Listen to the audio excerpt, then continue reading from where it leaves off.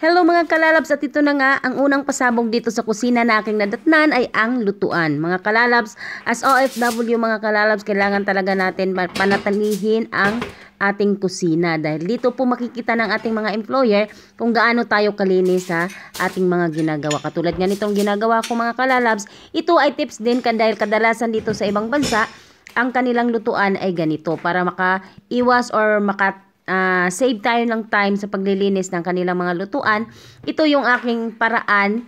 Ituturo ko rin sa inyo kung paano natin maiiwasan na, na palaging malinis ang ating mga ginagamit na lutuan. Lalong-lalo na sa mga domestic helper na katulad ko, yung nasa bahay. So, ganyan po ang ginagawa ko mga kalalabs. Ito ang una kong target talaga kapag ta ako ay galing sa aking bakasyon ang una ko talagang uunahin ang lutuan dahil alam ko naman hindi nila lilinisan yan. So, ayan na nga. Tinatanggalan ko talaga ng stain uh, ang mga gamit sa kusina, lalong-lalo na sa pagluluto. Iyang aking ginagawa. Dahil yan ay dyan natin makikita na maging makapal yung mga talsik ng mantika, uh, mga natapon na mga niluluto natin. So, ganyan talaga ang ginagawa ko mga kalalabs. Lilinisan ko agad ito ang aking unang tinatrabaho kapag ako ay makapagbakasyon at talagang lilinisan ko kaagad ito ang lutuan. Ganyan ang ginagawa ko. Uh, tinatanggal ko talaga lahat at lilinisan para uh, matanggal yung mga talsik na nagamit natin noon na hindi naman kaagad nila malilinisan dahil yun na nga uh, medyo may katamaran din sila kapag wala sila talagang mga kasambahay or mga katulong na gumagawa niyan sa ating kusina. So, ayun. Pagkatapos kong nilinisan, is syempre, idadry na po natin yung ating mga kasangkapan para maibalik natin sa dati dahil natanggal na natin yung mga talsik ng mantika, talsik ng pagkain.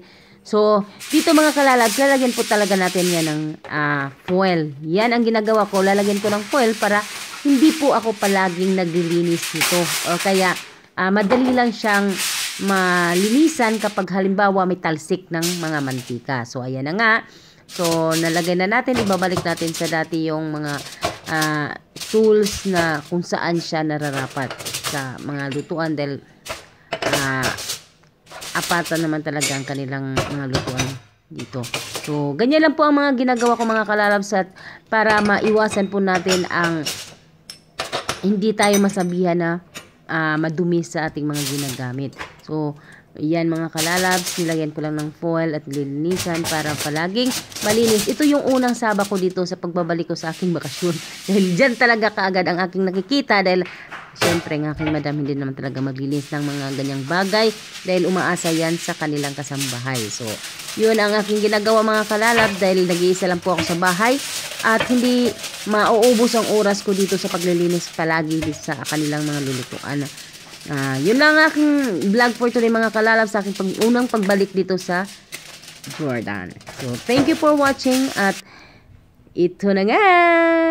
Tara! So, di ba? Save time po talaga mga kalalabs at hindi tayo palaging malilinis at sa ibabaw lang ng foil.